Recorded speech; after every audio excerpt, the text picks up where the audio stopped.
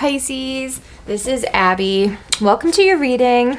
Uh, this is going to be a daily reading. I feel like doing a nine card spread, so I'm just gonna do it.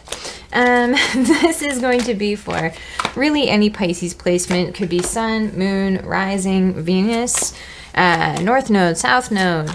You could live next door to a Pisces. you could uh, have a boyfriend or girlfriend, human friend that is a Pisces that you are interested in. It makes no matter to me. I don't care why you're here. I'm just glad you came to watch. And I ask everyone to stay respectful in the comments so I can keep the comment section open. Okay? All right. So these are timeless readings. Um, they're going to be just basically if you find it and it rings your bell, it makes sense for you, great, take it. Run with it. Go with it, friendo. Um, not everything's necessarily going to be for you because, I mean, you know, 1,000, 2,000, 20,000 people, who knows how many people could come across this video in its lifespan on YouTube, okay? So, uh, just take the parts that make sense for you in your life and leave the rest behind. Very good. So I'm going to be clarifying with a second deck. Um, just kind of going over sort of the movement of these energies here. At the bottom of the deck, Pisces, you have the Eight of Swords. So a lot of air energy going on there. A lot of thinky thinky, a lot of thoughts. Um, could be some things that maybe are keeping you stuck. You could be like a little bit of analysis paralysis, perhaps. And that kind of makes sense. You have the hangman showing up here right off the hop. Um, with the hangman, ten of coins, and the strength card. Uh, this feels like there could be something to do with your abundance, a job, family, legacy, okay? Uh, that you might be kind of having a little trouble actioning both strength and the hangman or uh, tend to kind of indicate a holding back of some kind. Um, part of it is analysis. Okay, the hanged man often is talking about trying to gain a perspective, could be trying to figure out a way to make something work here, especially if there is an issue with same money household or, you know, a family issue. Strength is you know, a lot of patience, really. It's often taming the beast. You could be trying to keep your temper in line. Um, I am feeling like it's like we have Leo Pisces energy here. Can I have some more about this hangman, please? Or this hanging man? Mm -hmm, and it's around the Ten of Cups. So very nice here. So this this feels like trying to contemplate on your happiness. It could be a relationship. It could be a family situation. Um, for others, I feel like this is just going to be you maybe really trying to figure out what makes you happy. If you have been in a period of sort of stagnancy or unhappiness lately, you might be trying to figure out that target, right? A lot of the time it's hard for us to like to hit a target unless we even know what we're aiming for. So I'm feeling like some of you are maybe just trying to improve your aim. That's kind of what I'm getting there. Uh, what do we have with this Ten of Coins here? The Moon. Okay, so there could be something to do with some fears around money. This feels also like maybe I'm wanting to say secrets or um, sort of like the unknown and mysteries. For some of you, this could have to do with like it's almost like being a mystery to yourself. like they like having I'm I'm getting for some, okay, I'm going to give you a couple different spins because there's a couple things coming to mind. For some 10 of pentacles can have to do with say like happy home, legacy, having like um, the nice house and the nice family and everyone's well taken care of and you're generous and you're set up for generations and everyone's going to be great, right? And the moon is kind of like, hmm, what do I like? How am I going to get there? I'm not really sure how to do it. Um, I'm kind of scared that I'm not even sure if that's what I want or am I wanting the right thing in the in the right way for the right reasons. Um, there was also something that kind of flitted in about maybe money itself or handling money being kind of a mystery to you. Um, but for that, all I would say is just get to know it you know it's it's something that can be studied if it has to do with say home life or investing or taking care of a, a home something like that there could also be something revealed to you about some kind of family legacy uh, this doesn't feel like a bad thing it just feels like it kind of um, i think answers a question something that maybe was kind of hidden before. 10 Pentacles again, the Strength card, and 10 Pentacles. All right, Pisces, Pisces, Pisces, Pisces. So,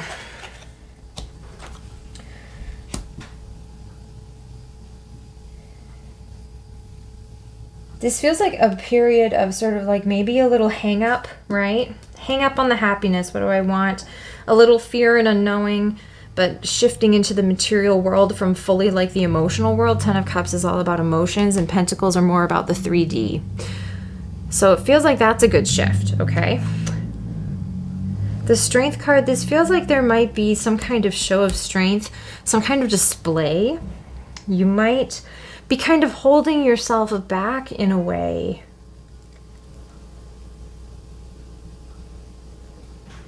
Because it feels like you have bigger plans like I wanted to say earlier on, I'm not sure if I verbalized it, but I remember like looking at this strength card and feeling like someone may have ticked you off and you're having to be very patient um, with expressing yourself on it. Could be someone made like an assumption about you or your plans or your worth or your um, your potential. Um, I know like Pisces really hates being underestimated. um, I know lots of people hate being underestimated, uh, but it, it, I feel like it's a pretty consistent trait that I kind of see. So I think that there's almost like a there's a very want to prove someone wrong kind of thing happening here. Which hey, if it's a lot of achievement, this is some beautiful stuff coming in here. I mean, you've got all the tens. this is just like pretty bonkers here. Okay, in the middle, sort of present-ish, right? We're looking at the Ten of Swords, the Ace of Cups, and the Ten of Wands. More tens, Pisces. You may feel like at this time that you are kind of clearing the air and closing out cycles at breakneck speed. and it's like, coming in and making some very decisive choices about the things that you love the most. Strongest card in a nine card spread is usually the center card here. And you've got the Ace of Cups. Love, potential, new starts, feeling something really wonderful. Now, there's been a lot of work involved in stuff. You've had to carry a lot of things, and this feels very much like realizing what you really want emotionally and into the 3D as well, okay? Um, bringing those things into reality and doing it from a place of love, of self love, of acceptance, and thinking very a lot about the people that you want to uh, share it with and hang out with and uh, build with, okay? This Queen of Swords is an air sign, Gemini, Libra, Aquarius. Is there anything else here we should know? Two of Cups could be a love interest, possibly. This could be you making a very. Um, it feels almost like if there is a decision in love to be made here, it's you going into more of an active phase and it's going to take some communication, like speaking your truth with this Queen of Swords energy. Okay, for others, if this isn't a love situation, then this could very well be like trying to find your happiness if it's a, a job or like a raise or an opportunity of some kind, of you taking a very sort of blunt and um, honest approach to what it is that you want, why it works, why it's good for you, and making those choices. This Ace of Cups, yeah, and the Ace of Swords. Love and truth. Look at this. This is nuts. This is nuts, Pisces. Just truth, victory, love, potential, overflowing of emotions. This is really beautiful. This feels like you coming to like a very sharp, it's like such a focus and probably some more alignment between the heart and the head. You know, if you've had a time where you were very thinky, thinky, thinky, here in this Eight of Swords mode, this feels like a time where it's becoming more uh, easily focused, you know? Rather than just thinking all day and night.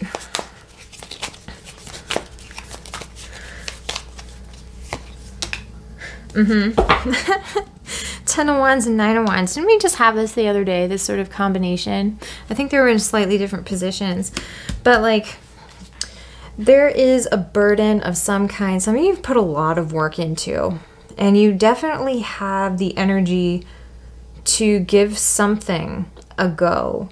This feels like you really trying to figure out if it's worth it, if the juice is worth the squeeze, is what I'm wanting to say because it's like trying to find the truth about whether it aligns with your real purpose and the things that you love and where it's going to take you, whether that's a relationship or a job or a course of study in school or a certificate or the people around you, whatever it is.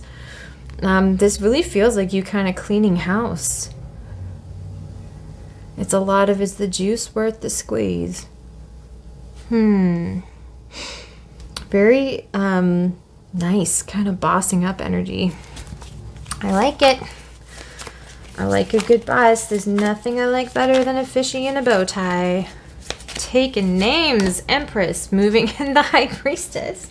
So this is gorgeous. So there could be a Taurus or another Pisces, but this looks like um, a lot of abundance coming into like your intuition really about how you feel and where you want to go with it. I think it's also for a lot of Pisces kind of like realizing your potential realizing what you're worth, realizing that you can really kind of have it all here. You also have the Four of Wands and the Seven of, or the Six of Swords.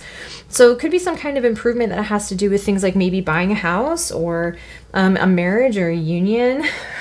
uh, could also be improvements with maybe moving. You might have to move on to some place or someone or from someone. But this feels like what you're coming into is a whole lot of abundance and a whole lot of new stability right? A new kind of finish line for you to cross here. I really like it. Let's see what else we have here about this. Four of Wands. Two Pentacles. Okay. Okay. So there might be some kind of... I'm wanting to say like a deliberation. Um, there could be something that you juggle. You could have a couple different things that you are trying to go between. And I mean, you have an Ace of Cups and an Ace of Swords. So there could be like, say, if there is like a home purchase, there might be like a home that you really love and is like your dream home, but it's outside of like a little outside of your purchasing range or it, and there might be another one that isn't quite perfect and like move in ready you know? There's stuff that you would have to do to it over the years and improve it and stuff and you're just like uh, i'm not as in love with it as i am with the other one but it's the more logical choice. Um could be something like that. For some of you with love and marriage and commitment it just feels like there might be a little bit of a juggle but it kind of a feeling of like you can handle it though. The Two of Pentacles doesn't say, you know, they don't really show them dropping the ball, if you will, you know. The, they're juggling kind of for eternity and learning how to have some fun with it. There could be, um, for instance, like juggling between like say you have a day job and a side gig or you have a relationship and a career ambition or you have uh, schooling and a relationship. Like there's something like that, but it feels like trying to have some fun and building those foundations and understanding that you can have multiple balls in the air at the same time. okay. Uh, and we can't always have a firm grasp on everything. Some things you have to kind of like wish it, do your best, boop, let it go, catch the next thing, take care of it, boop, let it go, right? Um, kind of feels like it's asking you to have some more fun having trusting your intuition and going towards the things that make you feel juicy pisces. The things that make you feel abundant that make you feel like you are in your empress mode whether you're male female or otherwise okay? That's kind of what i am getting from that. With six of swords the chariot both cards of movement and moving on right? Moving into a time it feels like a lot of you are going to be on the move. You could be traveling, you could be changing jobs. Um, maybe you're going to get a new ride, new whip, new car, you know? But I feel like for a lot of you, it's really just like this I'm from this whole reading, I'm getting this very strong vibe of improvements and deliberate imp- improvements because it's like this time in the hangman's tree was not a waste because it made you understand more about yourself and more about what you wanted. And it made you you took some time to question. Um, the hangman is doing something that is kind of against the grain right? They're going against the grain. They're going against convention. And they've decided to put themselves in this uncomfortable position and look kind of foolish and weird so that they can find some enlightenment and find something new in all the stuff that's around them. And it feels like maybe you had to go through something where you were a little kind of outside the box here, Pisces, to figure out what it was that you wanted and how you were going to go after it. Maybe you had some ideas about money or family or home that you had to kind of confront, that you had to kind of look at and go, what is it about this, right? With this moon energy, why do I believe this? Why do I, I want this in the first place, right? Where did this come from? Um, that's what I'm getting here, very much so. And I'm feeling a lot like whatever it is that you're moving towards, this is a really beautiful. I'm curious. I'm just gonna pull some more cards. Let me check my time here. Yeah. Um, this just feels like you moving towards something that's going to work out really well if you really trust yourself and you do the scary thing and you you try and go towards something. It feels like it's gonna turn out really well for you. Yeah, Page of Cups, so it could be a new start in love, an admirer, getting a message or an apology from someone in particular. Ace of Cups again. See? Lots of love or like emotional fulfillment. If you're not interested in love, this could even be like, like say we have the Four of Wands. Um, you could end up if if there's the the house that you really love, for example, or the career choice that you really love and have your heart set on. Um, that might end up being what you end up going towards here. Ace of Wands. What is with you, Pisces? What's in the sauce? what what have you basted this reading with here, Pisces? Um, lots of passion, moving towards the, the things that really blow up your skirt or your kilt or your um, unisex garment, like whatever it happens to be, right? This is gorgeous. I love this reading. And the lovers at the bottom of the deck. Beautiful. So going from a time where it's kind of like a spider web, right? Maybe you were in a chrysalis. Maybe for a, a long time before the new year, there were lots of readings that were coming through for Pisces that were about sort of being in butterfly soup and being in the chrysalis and starting to hear it crack, right? Starting to kind of come out of it, starting to kind of wriggle free. And it almost feels like with this, it's like being in a chrysalis that's also inside of a spider's web. the spider's web is like all of the possibilities, all of the things that could be, all of the things that could have been, maybe society, maybe um, impressionistic assumptions that you have about yourself or other people in the world, or how far you can go, or limiting beliefs, or whatever it happens to be. Maybe you're just so spoiled for choice, you're just not even sure which way to go with something. Maybe something forced your hand and you had to make some decisions while this transformation was going on. And now you're in a position of being able to choose choose wholeheartedly, choose from a place of love and harmony and self care. And really kind of closing the distance there. Could also be talking about a relationship, kind of coming into focus. I tend to view these underlying cards as the underlying energy in the beginning and then where it ends up. So starting off, you know, maybe a little conflicted, right? Maybe kind of worrying a little bit, but then coming to a place where it's like, no, I'm, I'm choosing from my whole heart for my whole heart, right? Aces on aces on aces on aces, Pisces.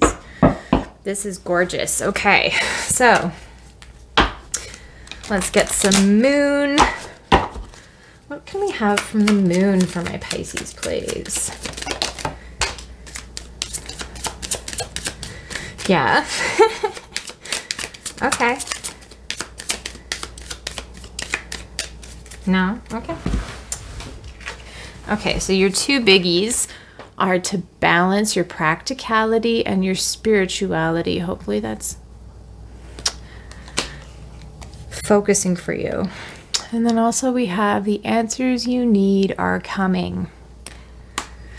this feels very much like that's kind of in the middle of it. There's a lot of this sort of imagery here of like uh, do you see it's like the high priestess has like this sort of download straight into like the crown chakra with their third eye like all lit up? The ace of wands that intuition like lit up right from the middle of their forehead. Um this ace of swords right? Receiving downloads. It just feels like there's a lot of this kind of energy happening here. And what you may not realize yet is that if there is something you've been thinking about if you've been in hangman mode, you know, for a while. Um, there was a reason. Something will be true. I just keep wanting to say, like, something will be revealed to you that you already kind of knew. You'll realize you knew it, or you had it, or you possessed it, whatever it may be. Trust the process yeah, balance your spirituality and your practicality, Pisces, while trusting the process. So, um, this means that we don't get completely lost in the otherworldliness, um, and we come back to Earth every now and again and check in and make sure that the shit that needs to get done gets done. So, knowing that things will work out, that something better can be on the horizon, and just having some confidence in the universe, like doing the stuff that you need to do to improve things one step at a time even if that's as small as like making a checklist you know of your daily self-care you know? Um, especially if you're in a really miserable place um, which i'm not implying that anybody necessarily is but i know when i found tarot on the internet initially it was when i was in a, a crummy place and i couldn't find a reader who was available for months. And so i was like is there tarot on youtube? And then i found it and it was like what the hell? Um, but I know that for me, when I was in a crummier place in life, it's incredibly helpful even just to be like, okay, so what are the things I'm going to do when I wake up? It's like get out of bed, drink drink your water bottle. Okay, brush your teeth right away. okay, cool. Um and like you don't have to do all the things but so long as you do most of them some of them the first couple you can put in things like i think my my list is like it's pretty long and it has things like do 25 squats, right? Like get out of bed, do 25 body weight squats just to move your body and, and convince your brain that you're not asleep anymore. You know what I mean? Um, to get something started. Sometimes that stuff can be really helpful. Um, let's see here. The answers you need are coming. I want this one. Flamingo. Okay. So this is talking about friendships. I want to make sure that's focused. Okay. So saying enjoying your friends, balance and chaos, dealing with your emotions and mastering your energy. I feel like the more that you enjoy yourself, the more that you allow yourself to love life and to find some balance, to take care of yourself, to not overextend yourself, um, to deal with the feelings you have and not hide them away, Pisces. Like, I don't know if it, like, I think it's like Cancer Moon's tarot. I remember watching him talk once about how um, his partner's a Pisces and how he's like, Have you ever seen a Pisces decide they're not going to think about something anymore? And they just kind of like stare into the distance for a second. And then it's like that memory's gone. it's like they just go like, and like get rid of it and file it away somewhere. It's like, I don't want to feel this. Okay, bye. Oop. Like, just so good at avoiding things. Um, and it's an amazing uh, survival technique for a lot of people uh, if you are someone who identifies like that. And of course, it's not all Pisces because not all traits are all Pisces, all right? Um, but if you are someone who happens to sometimes sort of file your feelings away, uh, this feel like the more that you deal with them and come into balance with them, allow yourself to be around good people or to seek out good people, that that's going to bring you the answers because they're in you. I swear, Pisces, they're in you. Okay, let's get an energy oracle.